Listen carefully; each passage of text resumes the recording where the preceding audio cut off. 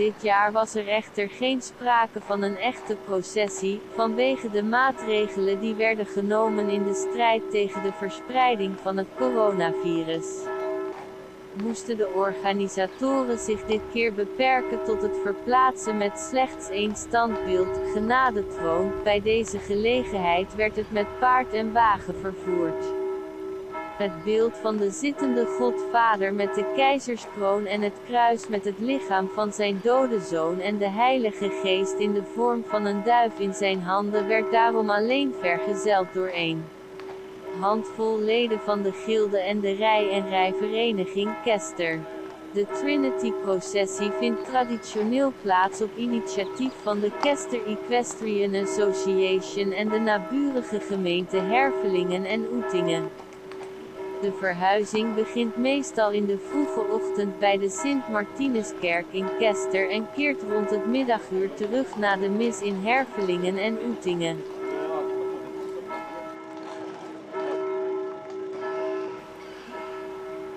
Elke keer kan de processie rekenen op een groot aantal sympathisanten die te paard of te voet de processie betreden. Al enkele jaren worden de deelnemers hier en daar door de bewoners begroet door hun eigen vlag op te hangen voor de processie. Deze vlag wordt meestal een paar dagen voor Pinksteren geplaatst om de aanstaande passage van de processie aan te geven. 2020 is een zeer stressvol jaar voor de gilde van de Rij- en Rijclub.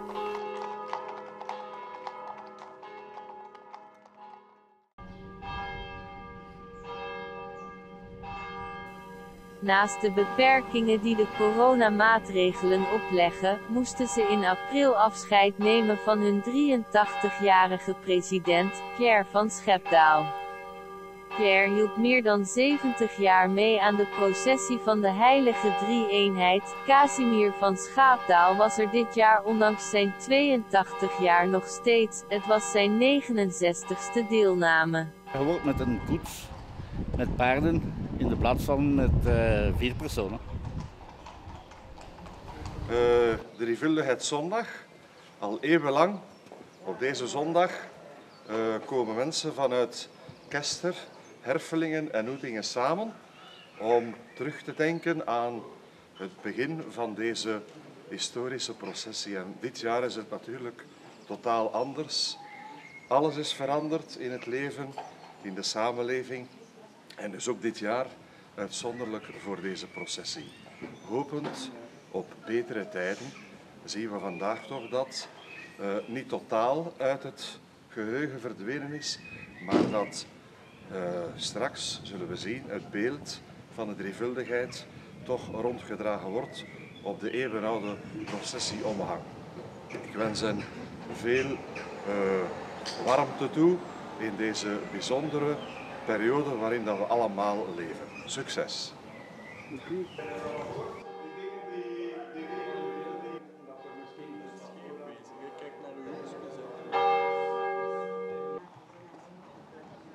Casimir van Schaapda. Hij kon rijden met Pieter Jan Breinaert, de paardrijder, Maarten van den Broek was de bewaker van het beeld, Patrick van Schepdaal en Mark van Hoegaarde volgden te paard.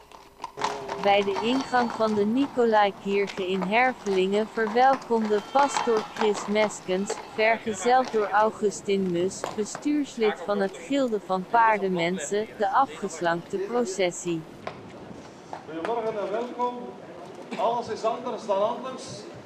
Uh, in het boek Prediker, een eeuwenoud boek, lezen we: Alles heeft zijn tijd.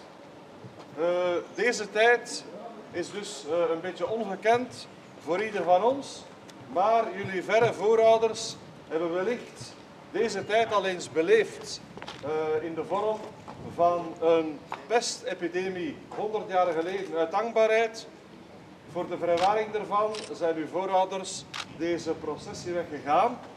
Jullie gaan vandaag met heel weinigen, maar symbolisch vertegenwoordigd door velen. Jullie gaan deze weg blijven doen. Proficiat, uh, mag uw weg en mag uw levensweg gezegend zijn. We zullen nu nog kort een gebed bidden tot de heilige drievuldigheid. En het kortste gebed tot de heilige drievuldigheid is het maken van een kruisteken. Ieder van ons schrijft een eigen verhaal, een eigen levensverhaal, met hoogtepunten en dieptepunten. In die verscheidenheid zoeken we ook eenheid. En die eenheid is veel meer dan de lucht die we inademen of het postnummer van de gemeente waar we wonen. Die verscheidenheid drukken we ook uit in het bidden van dezelfde woorden. We zullen nu de zegen ontvangen van de drie ene God. Straalmonstrans, een zilveren kunstwerk met halfedelstenen. Dat waarschijnlijk uit 1772 dateert en een inscriptie bevat die verwijst naar een goudsmid in Ad.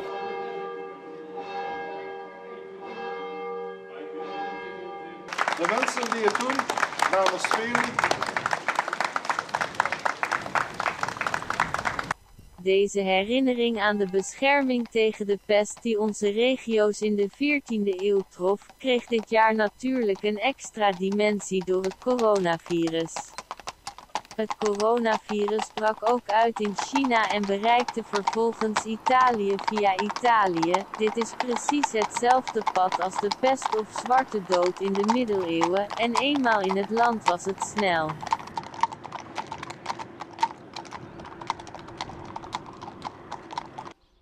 De legende die in sommige families wordt verteld en die jaarlijks verschijnt, is de volgende. Nadat de processie bij zeer slecht weer niet was vertrokken, stond het beeld in de kerk de volgende dag vol modder. Mensen dachten dat het beeld alleen uitging. Er zijn drie kapellen aan de mooie Kesterweg onderweg van de processie, de kapel de Neve op de kruising van de Kesterweg met de Sint-Anna-strasse de Sint-Antoniuskapelle en tenslotte de Sint-Jozefkapelle aan de hoek met Edingse Steenweg.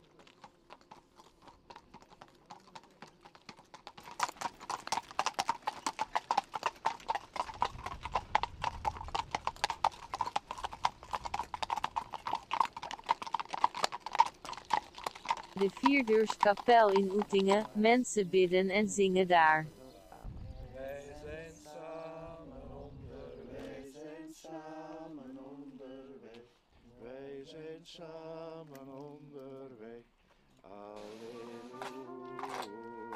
Deelnemers krijgen ook iets te drinken en te eten om zichzelf intern te versterken.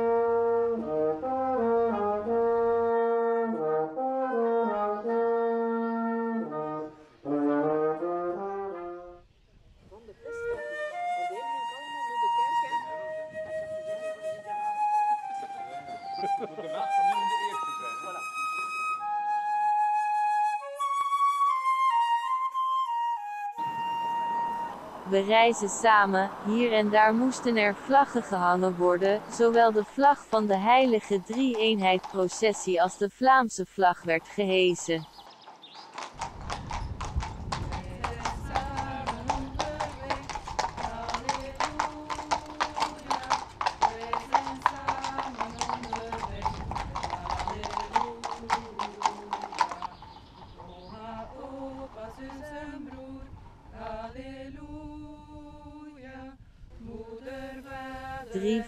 Vrouwelijke leden van de koninklijke fanfare van Kester begonnen hun eigen processie en liepen zingend door de velden en straten. De.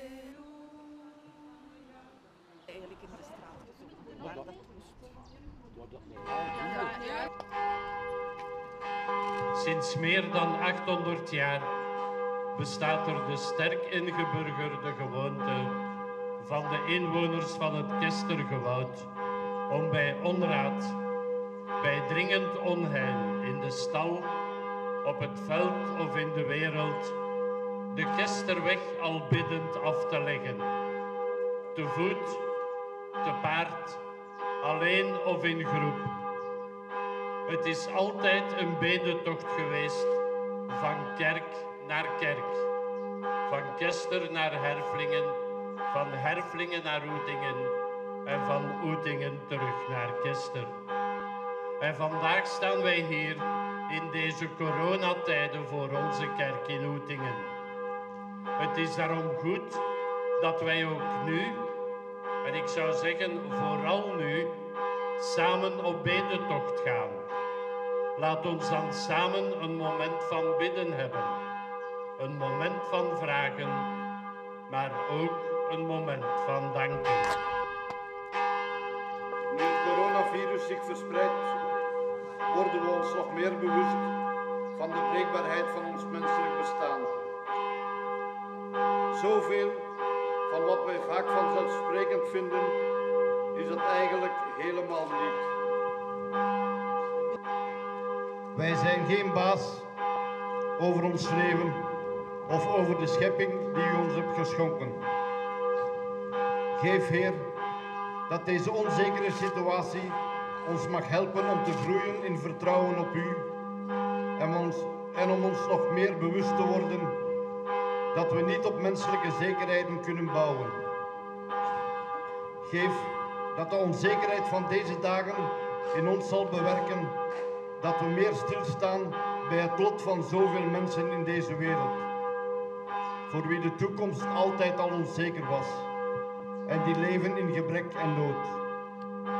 De vluchtelingen, mensen in oorlogsgebieden, allen die in honger, armoede en nood verkeren.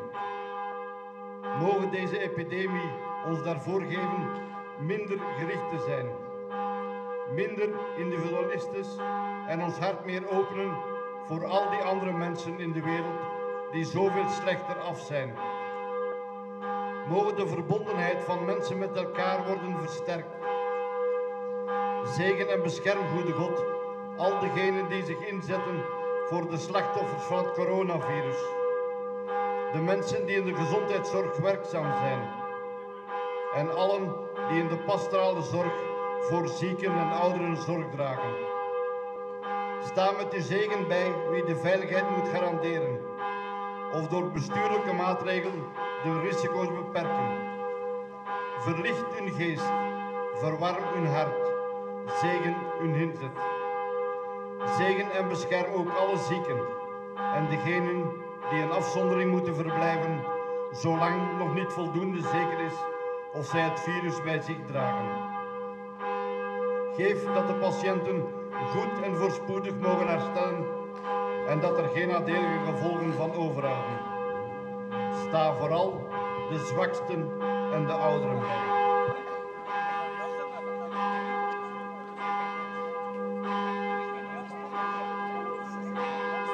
Aan de mensen van Kester zou ik willen zeggen, dank voor jullie bedentocht. Nog een mooie en veilige verderzetting. In gedachten stappen wij met jullie mee. En hopelijk tot volgend jaar in vol ornaat. Goeie reis.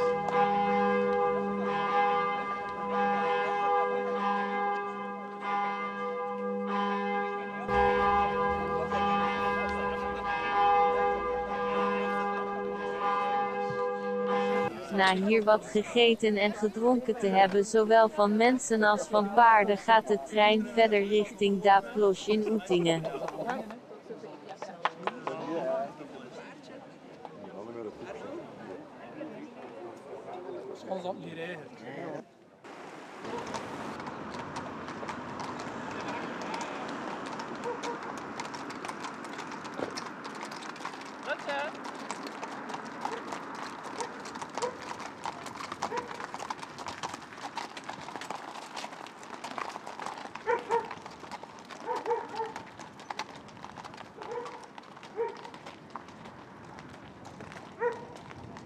De kleine groep wordt daar hartelijk ontvangen door de familie Smeets. Dit is een historische plaats omdat het het voormalige centrum van de parochie is. Met een kerk en begraafplaats die zijn verdwenen, de pastorie is nog steeds bewaard gebleven. jeugd een goede opvoeding willen geven. Verzorgende mensen in ziekenhuizen en zorgcentra. Dat allen moed en steun bij elkaar vinden in deze voor ons heel rare tijden. Bidden we voor onze bejaarden, waarvan velen heel lang hun familie hebben moeten missen. Voor jongeren in de jeugdzorg en gezinnen in moeilijke situaties. Dat zij begripvolle mensen ontmoeten die helpen als ze het moeilijk hebben. Bidden we voor ons allen dat we hoopvol blijven vechten voor terug een normaal leven en dat onze mooie processie volgend jaar weer mag schitteren.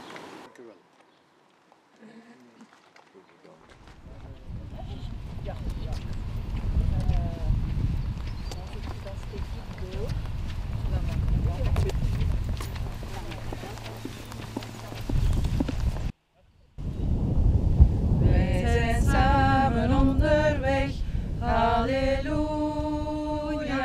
Wij zijn samen onderweg,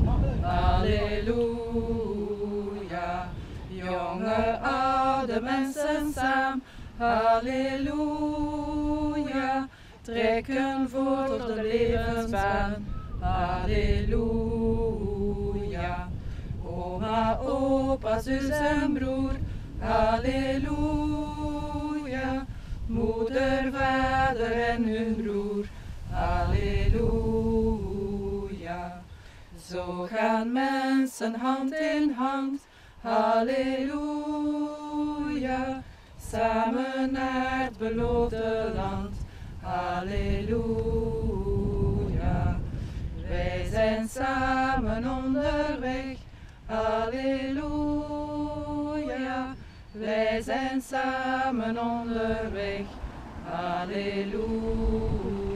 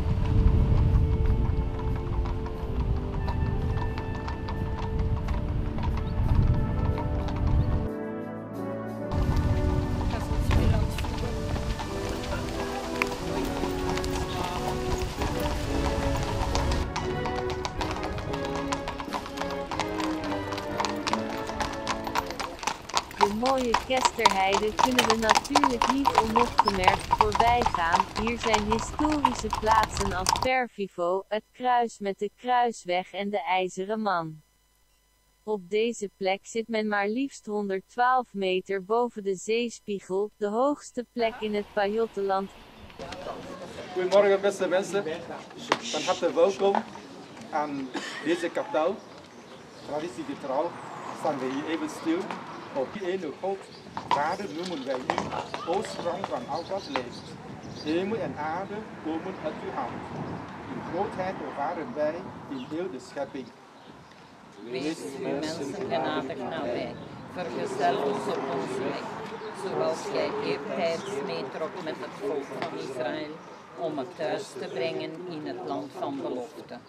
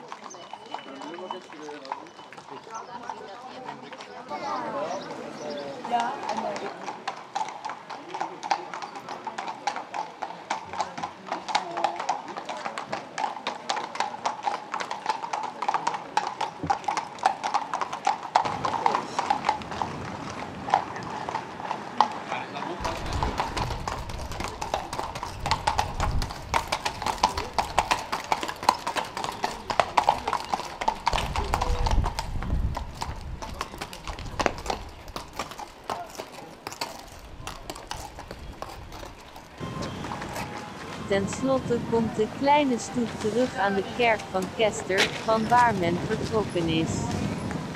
Daar wordt het beeld opnieuw de kerk binnengebracht, waar het wacht tot het volgend jaar om opnieuw rondgedragen te worden, hopelijk met een grote stoet, coronavrij, in 2021.